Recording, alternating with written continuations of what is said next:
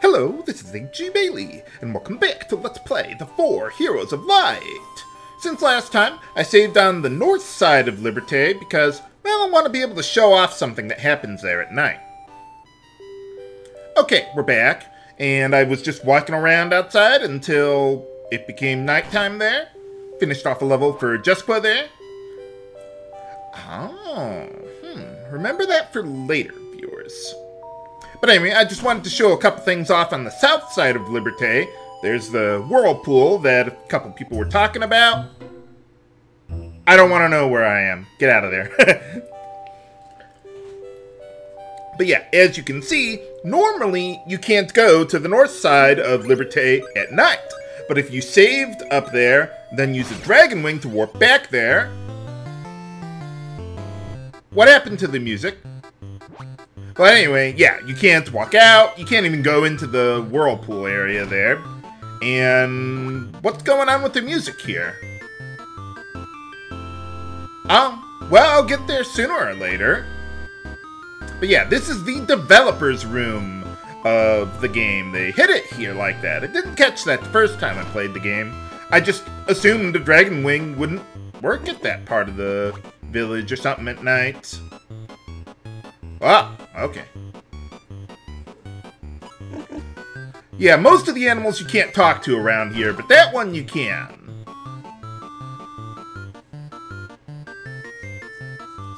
There's nothing really special here at night, just, you know, it's the developer's room. There's no items or anything practical you can get here. Oh, yeah, they seem to kind of go for a storybook art style with the game. Maybe a little chibi, but well, I don't really know much about that sort of thing. Oh? What do you mean? The the kid in the house or in real life? I don't know. Well, okay. I, I won't ask any more questions. I'll just take everything in the game at face value then. Hey, how's it going? Oh, yeah, it was pretty much the same stuff as uh, Final Fantasy IV DS, wouldn't it be? I mean, it's pretty much the same engine, but yeah, there's a few crowns that we don't get through the storyline there, and I will be collecting them all eventually. Now, I can't get the musician crown right now, so there's nothing I can do about that. Oh, well, good for you. What's with that shadow in the water there? Seriously, I have no idea what that shadow is there for. There's nothing to indicate shadow, but anyway, what he's talking about there is element stacking, where, like right now, we have the ice shields equipped, and if we had another piece of equipment or an ability that could further reduce ice elemental damage, then it would nullify it altogether. And you could do that on offense, too. You can stack like gauntlets with some abilities that increase your elemental damage too there. It kind of reminds me of Final Fantasy VIII, how you could make your attack more elemental or your defense more elemental. But anyway, yeah, in order to get out of there, you gotta rest up on the left bed there, or... Well, I suppose you could have rested at the inn there too, but there's no point. The house is free. For some reason, you can't do that on the right bed. But anyway, if, or before going out, there's a couple things I want to pick up. Get another Dragon Wing there to get out of there. And let's see, I also want to get the Inherited Ring for Aire because that'll be pretty useful to boost her HP later on. I don't think we need it right now, but towards the end we'll need a little more HP for her. So let's head on over to the pirates' hideout and see if we can rescue those villagers that got kidnapped by them. Holy cow! But anyway, okay, here we got a new enemy. Slimes. And, whoa, those were really bad shots of fire there. Usually I can one-shot them, or come pretty close to doing so, but yeah, the damage variance for magic is pretty high there. Ha ha! But yeah, with the slimes, if you leave them around long enough, they can merge together, and it'll just combine their stats, I think. Something like that. So they'll take a little longer to kill that way. I don't think you get more experience for that. I could be wrong, but anyway, if you recall talking to the pirates earlier, their motto is freedom. Boom, you can get past the guy and move along. And by the way, as black mages here, you might have noticed in that random battle there, uh, all black magic costs, well not all black magic, but the black magic that we have now is 1 AP. So we can basically just cast black magic like there's no tomorrow at this point. Oh, good for you. But anyway, oh wow, I didn't expect this guy to show up here. He's pretty rare, but well, you can find him sometimes. And let's see, these guys, they don't have an elemental weakness. So, yeah, just go nuts with Quake. That'll be a little more powerful than Fire there. Quake just has a little more base power there, but you can't use it against flying enemies like Bloodbats or anything like that. But anyway, yeah, at this point in the game, we're starting to accumulate Topaz, which is the third gem type in the game. So we're going to be picking up a whole bunch of them here, and they'll be very useful for us. Eh, a little more money. Might as well steal some of that pirate booty. Gotta answer the call. Especially Aire. Apparently she really has a thing for treasure hunting. So, okay, whatever works for you. Gotta rebuild the kingdom somehow. Or the treasury, anyway. Ah, nuts. But yeah. The left side, well, yeah, just had the treasure. This side will eventually lead to the end if I stop running, running into random battles. But anyway, the Lamia here well, if I didn't one-shot her, she could have potentially confused me, which is why I have the confusion capes equipped on everyone. But, yeah, she's... If it was just her, yeah, pretty easy to get through all that. But anyway, how do you know that? I I answered the password. But anyway, okay, yeah, we got now this lizard man here is a little tougher than the ones you can randomly meet up with here or before, but they're still weak to earth, so just use Quake on him. And hey, we got a new gem there. That's the fourth gem type in the game. So we want to get as many of those as possible. Let's see, now we got a new staff for Aire there. I don't know why they called it stave.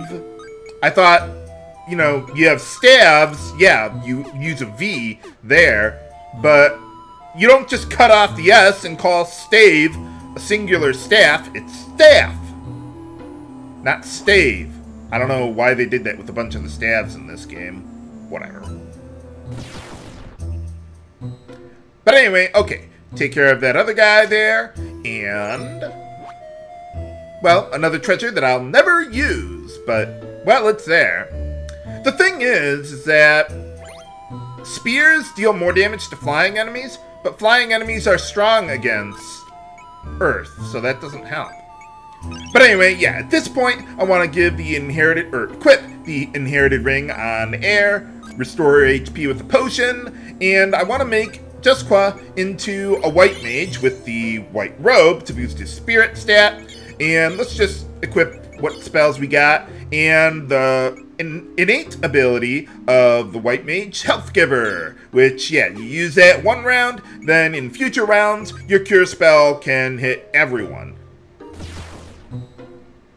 Yeah, it's not like most Final Fantasy games where you could just target multiple enemies with a spell just by clicking or something. Oh, nuts. Well then, who are you? for boss time against the Trollud. Well, that's his name anyway, but let's see. This guy does not have an elemental weakness, but in the first round, since we both start psyched up there, I want to go Twin Quake against them. Then after that, if I didn't take too much damage, I usually like to have Jusqua use Health Giver, so that way I can heal both of us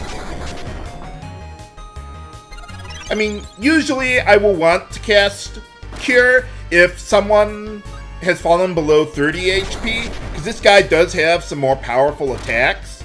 But as long as we're above 30 HP on both my party members, I think it's safe to go with a health giver there. Sometimes it works out, sometimes it doesn't.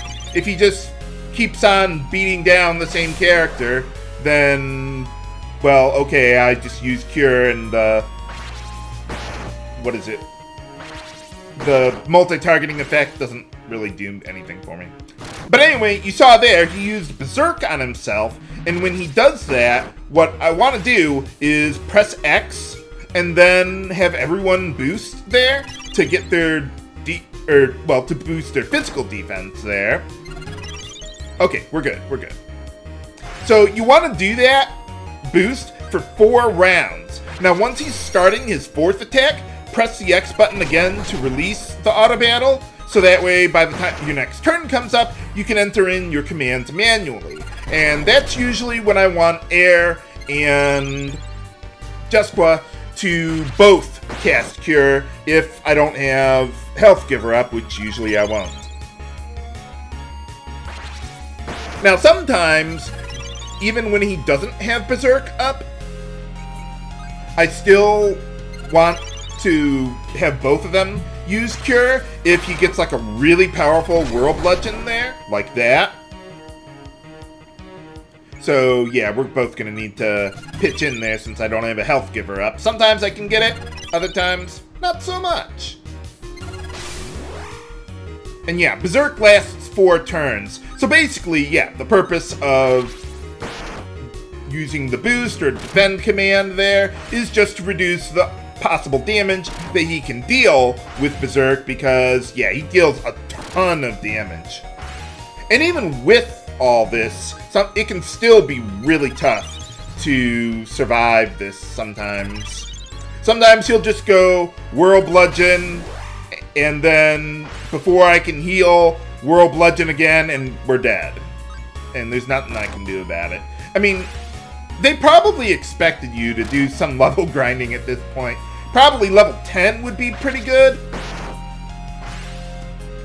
But I have patience problems, so I'd rather just try to, you know, if you boost when you need to, and you keep an eye on things, and you heal up and everything, you should be fine to get through this battle. It's pretty rare when he can get a World Bludgeon in before I have a chance to heal anyone, or whoever needs it the most. But if that does happen, well, then you die, I guess. But anyway, yeah, we're doing pretty good there.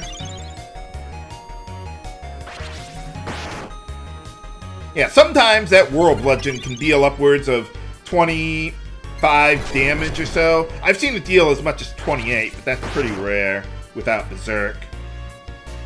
Oh, and by the way, Berserk, uh, just like most other Final Fantasy games, in this one, it just boosts your attack power, or your physical attack power, that is it does not send you uh, in like a berserk status where you can't even control your character at all. No, you can control characters who are berserk. It's more like Final Fantasy 2 or 3 berserk than 4 or 5. Ow! Man, I'm getting a little light on my AP there for Aire. But anyway, yeah, I almost forgot that I used Health Giver there. Wow. He's kicking my ass with that thing. Yeah, Trollud has at most 400 HP, so this fight takes a while at this point in the game. One thing that is uh, another example of how this game is really a lot like Dragon Quest also is that the enemies, I don't know if it applies to bosses, I would think so, but I know random enemies don't always have the maximum amount of HP that they could potentially have. So sometimes you'll just do everything right, but they'll have their maximum potential amount of HP, and you'll just have to, well, keep on trying. Well, here I'm getting a little lucky he hasn't used Berserk in a while. I haven't gotten both my characters psyched up at the same time since the start of the fight, I think. So, yeah, I can't really do a whole lot with Jusqua there on the offense. And I would not have Jusqua cast Quake without being psyched up because... Oh, I screwed up there. Whoops. But yeah, his damage is pitiful without being psyched up. But anyway, yeah, I meant to cast Cure, but I screwed up there. Whoops. I used Health Giver when I already had the status there. So, no, you can't just build up stacks of Health Giver. It doesn't work that way.